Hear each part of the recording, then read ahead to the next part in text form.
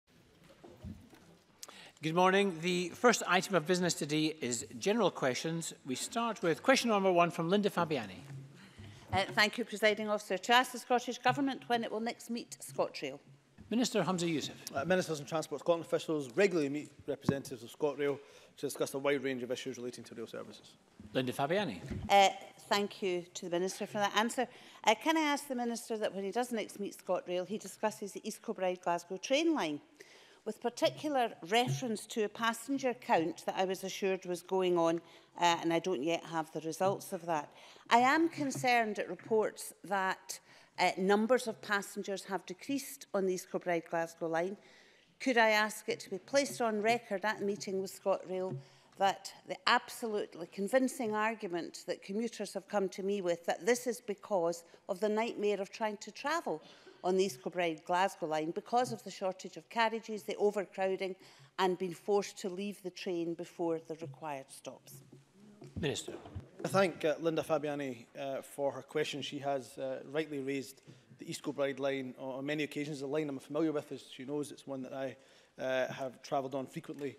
Uh, it's my own service to get back uh, home. What I would say to Linda Fabiani is a few things. One, the independent review that is taking place of performance uh, I will ensure that members across the chamber are given appropriately uh, the findings of that when that concludes uh, uh, soon.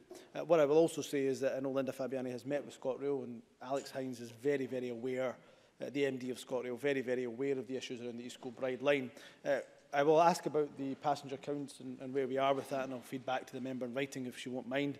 Uh, what I would say is that there is conversations going on at the moment uh, around the retention or possible retention uh, of Class 156 that operate.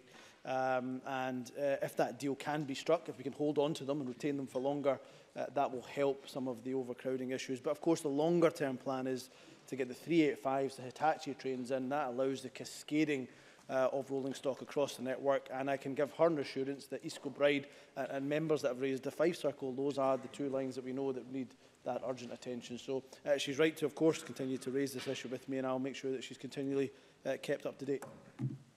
Graham Simpson. Thank you. Um, Linda Fabiani is uh, absolutely right to raise this. Um, the re recent figures out show that passenger numbers have fallen um, at East Kilbride and Hairmyres, but not all stations on the line. Um, and I think that's because the service in East Kilbride is so poor. Um, it stands to reason. Um, so can I ask the Minister, he refers to an independent review. Uh, and said uh, rather vaguely that uh, that will publish its results soon. What does he mean by soon? Can he be more specific?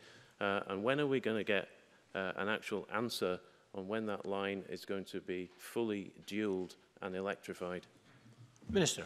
Well, there's a few parts to, to his question. What, what I would say in terms of the service to the East Kilbride uh, line, uh, you know, when I look at the PPM figures and the moving annual average figures, uh, they are generally above Uh, the national average. But that's notwithstanding, uh, not, not to dismiss at all, of course, uh, the concerns that he and Linda Fabiani raise uh, of those, particularly on the overcrowding side. I think that's well recognised uh, in the figures uh, that we see. So I, I, I understand why he raises those points.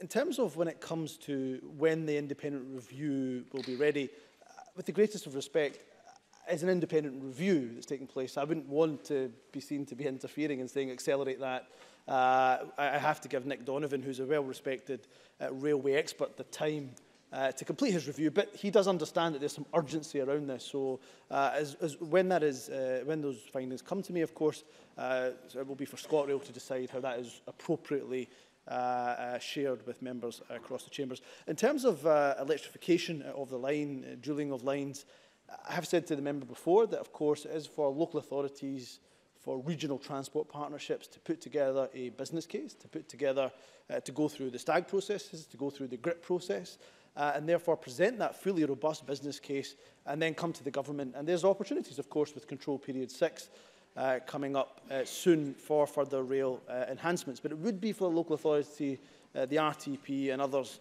and the promoters to take the initiative. What I would say uh, gently to the member, just to conclude, uh, is that uh, when it comes to funding new railway stations or new railway projects, we're not helped by the fact the UK government is slashing our railway budget for control period 6 by at least now £400 million. Pounds.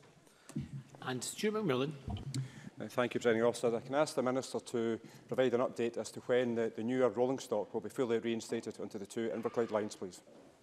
Minister. In terms of the, the, the Inverclyde routes, Uh, the member will be uh, aware that, of course, uh, we are investing very heavily in those 385s. That will, uh, the 70 trains uh, will be about 234 carriages, so they'll be gradually introduced across uh, the network, um, you know, the new 385s, having seen them down in the, the, the plant at Newton Aycliffe, they are fantastic uh, rolling stock. But in order to make allowances uh, for that and allocations for that, uh, drivers are having to go through training. So when we have sufficient new classes of 385s, when they are introduced, uh, then of course uh, we can phase out and replace uh, the older Class 314s that run uh, on the Inverclyde right, uh, uh, route at the moment and also free up more Class D80 trains. Now we are, as it has been documented publicly, having issues with Hitachi delivering uh, those uh, trains uh, on time to, to schedule that we've now agreed with them.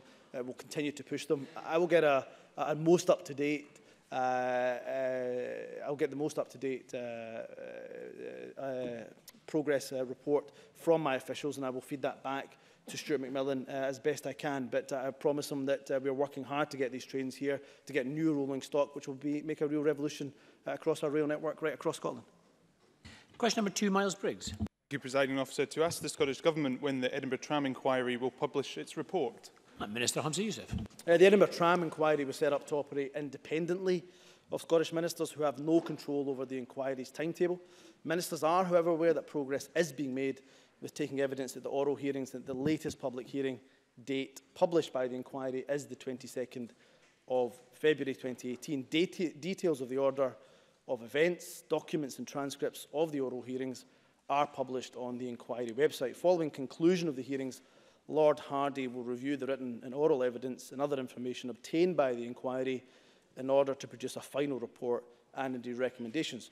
Before publication of the report, any witnesses who are subject to criticism in it must be notified of that criticism and given a reasonable opportunity to comment. Now, experience in other inquiries has shown that undertaking this necessary step can delay publication of the final report. Miles Briggs. I thank the Minister for that answer. When the inquiry was established in 2014 by the then First Minister, Alex Salmond, the Scottish Government promised the public it would be a swift inquiry carried out quickly, efficiently and cost-effectively. Years later, the costs are continuing to rocket and have passed the £8 million mark, with no indication of when this might conclude. While accepting this is a complex subject, Does the Minister understand the level of frustration among Lothian residents at the cost to the taxpayer being incurred? And shouldn't ministers apologise for making promises over the costs and duration of this inquiry when they simply have been unable to keep them? Minister. I think, I, of course, I understand the public's frustration. Can I just remind him, of course, we didn't support the trams in the first place, and his party, of course, did vote for it. But what I would say is, can I also just gently say to the member, that his hypocrisy, frankly, knows no bounds. Uh, in one week, one week he demands, uh, drags Scottish government ministers, he says, in his words, to this chamber and uh, for so-called apparent government interference. And now he's demanding that I don't interfere enough and interfere in an independent inquiry uh, for the trams. Now, that is an unacceptable position. I would suggest to the Tory member that he gets a consistent argument uh, for this. This is an independent inquiry that I will not interfere in and that I would have some real issues if the member was urging me to interfere in this. Now, if he wants to write to me with some suggestions of how he thinks that I can speed up an independent inquiry, of course, I'll be all ears to that. Question three, Andy Whiteman. Question three, Andy Whiteman. Uh, to ask the Scottish Government what action it will take to regulate the commercial short-term letting of domestic flats. Minister Kevin Stewart. Thank you, President Officer. Our vision for housing is that all people in Scotland should be able to live in high-quality, sustainable homes that they can afford and that meet their needs. Our commitment to deliver 50,000 affordable homes over the course of this Parliament supports this. Scottish ministers understand the pressure in some parts of the country for new controls over short-term letting of residential properties, we need to strike the right balance between enabling tourists to find places to stay which is important for our local economies and supporting jobs and the needs for residents to be able to afford to live and enjoy living in their neighbourhood. Different parts of Scotland face different pressures and we want to support local authorities in taking the right action, balancing the competing demands in their area. We will consider the recommendation in the report from the Scottish Expert Advisory Panel on the collaborative economy and will consult on any proposed changes to regulation, ensuring that it meets the five better regulation principles. I look forward to meeting Mr Whiteman later today to discuss this issue in more detail. Andy Whiteman. I thank the Minister for that response. As he says, the Collaborative Economy Report's now published its time for action. Can the Minister confirm that, as the First Minister recognised, at uh, FMQs on the 18th of January, there's a distinction between, firstly, a person renting out a room or their property at all times, uh, whilst at all times it remains their main residence. That's the collaborative economy. And secondly, the commercial short-term let economy, where domestic dwellings are being bought by investors and converted. Does he agree that the Scottish Expert Advisory Panel on the Collaborative Economy looked only at the first of those and that the second has had little attention from the Scottish Government, even though it's in the public interest to give councils the powers and flexibility they need to regulate this growing sector. Minister. Um, President Officer, uh, I couldn't be uh, more clear uh, on this uh, than I have been. Uh, and the First Minister uh, said the very same thing last week, is that we will look um, at what the panel uh, has had to say uh, about uh, the uh, situation of short-term letting um, is Mr Whiteman is well aware um, the situations in certain places uh, are different from those here in Edinburgh. And I think if he was to have a conversation with his colleague, Mr Finney, for example, um, uh, regulation uh, in, uh, in the Highlands and Islands would have to be somewhat different from here in Edinburgh. Already we have a situation uh, where legislation is in place to allow um, local authorities to take action around about antisocial behaviour uh, in these properties, uh, which Mr Whiteman has uh, uh, mentioned previously in the Chamber, in including the antisocial behaviour notices houses used for holiday purposes Scotland Order 2011. And that, unfortunately, has been little used uh, by local authorities, and I would expect them to use uh, this uh, legislation as needs be. Uh, we will look uh, all of this very carefully. Uh, we will uh, publish uh, our, um, uh, our response uh, to the expert panel in spring. And as I say, I'm willing to have further conversations with Mr Whiteman around about this later on today. Question number four, Bruce Crawford. Uh, thank you, President Officer. To ask the Scottish Government whether it will provide an update on providing faster broadband connectivity in the Stirling constituency. Cabinet Secretary Fergus Ewing. Uh, Presiding officer, in addition to the coverage provided by commercial suppliers, the Digital Scotland Superfast Broadband Programme has provided fibre broadband access to 12,998 premises in the Stirling constituency. Fibre broadband access is now available to 91% of premises in the wider Stirling Council area, with the vast majority capable of accessing superfast speeds. The Scottish Government is committed to building on the success of the DSSB programme by extending superfast broadband access to 100% of premises in Scotland. That's all premises, homes and businesses in Scotland by the end of 2021. We will invest £600 million through the first phase of reaching 100%, our 100 programme, to achieve this goal. Procurement is underway and deployment will begin during 2019. Uh, Presiding officer, this is the biggest public investment ever made in a UK broadband project and underpins the first universal superfast programme in the UK. Bruce Crawford. I thank the Cabinet secretary for a helpful reply. Can you please let me know, though, what percentage uplift of premises connected to foster faster broadband has been in the Stirling area as a result of investment from Digital Scotland Superfast Broadband compared to what would have been without that investment.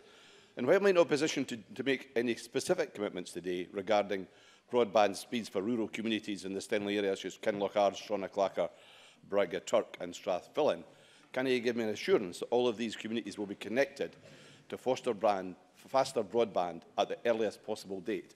Cabinet Secretary. Uh, well, yes, I can. As a result of the uh, super-fast broadband programme and also commercial coverage, uh, over 91% of all premises in the Stirling area can now access fibre broadband and over 88%, uh, presiding officer, at speeds of 24 megabits per second and above. And to answer Mr Crawford's question, uh, and Mr Crawford has campaigned tirelessly on this issue over the last year's presiding officer, it's estimated that just 59% of premises would have had oh, access to oh. fibre broadband otherwise. In other words, the Scottish Government's DSSB programme has seen an increase of 32% in Mr Crawford's constituency. That's nearly one-third, one-third more people in his constituency that now have access to super-fast broadband as a direct result of the investment by this government. Question five has been withdrawn. Question six, Kezia Dugdale. To ask the Scottish Government further to the First Minister's meeting with the family of Sean Woodburn, who was killed on New Year's Day 2017, what plans it has to enhance the rights of victims during court procedures.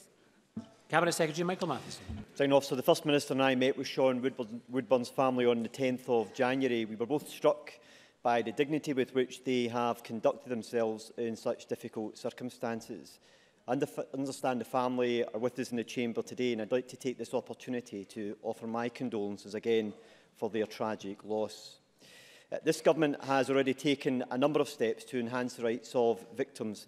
The Victims and Witnesses Scotland Act 2014 improved the support and information made available to victims. This includes providing victims and bereaved relatives with new rights to access information and reasons for decisions made about their case. It also created a duty on justice organisations to set clear standards of service so that victims know what to expect and who to contact if the service they receive does not meet their expectations. In addition, we published a Victims Code for Scotland, which clearly and simply sets out the rights of victims in one place. It's important that we continue to listen to the experience of victims and their families and consider further improvements that can be made. Indeed, we are currently working with our justice partners and victims' organisations to explore a single point of contact model for victim support. This will help to ensure those who experience serious crimes receive a consistent and individually tailored level of support for as long as they feel is necessary.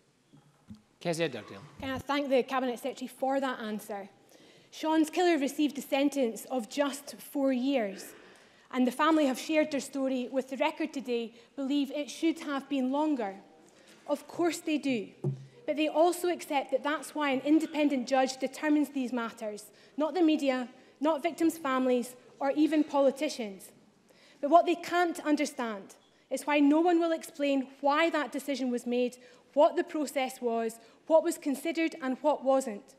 When I raised this with Lord Carloway, he drew my attention to Section 6 of the Act that the Cabinet Secretary mentioned, an act which gives victims the right to request the final decision of a court in a trial and any reasons for it. Can I therefore ask the Cabinet Secretary, given this right delivered by his government, why the sentencing report hasn't been shared with the family and what steps the government will take to improve the transparency of court proceedings? Cabinet Secretary. Then, Officer, um, eh, sentencing in any given uh, case, uh, including decisions relating to the publication of sentencing statements, is a, a matter for the court. Um, a judge will often give reasons for imposing a particular sentence in court at the time of sentencing or where the disposal is under challenge in a subsequent report to the appeal court. Uh, the sentencing of convicted persons is usually announced orally in court and in certain cases a sentencing statement may also be published thereafter. Uh, the decision on whether or not to publish a sentencing statement is at the discretion of the independent judge in, performance of, in the performance of their judicial function, and the Scottish Government cannot interfere with this. However, as a Government, we support transparency in sentencing so that everyone involved in a case can understand the reasons why a sentence has been given. And as I mentioned uh, previously in the meeting with uh, Mr Woodburn and his family on the 10th of January, uh, the Victims Code does provide relatives with the opportunity to request from the Scottish Court and Tribunal Service the reason for sentencing decisions to be published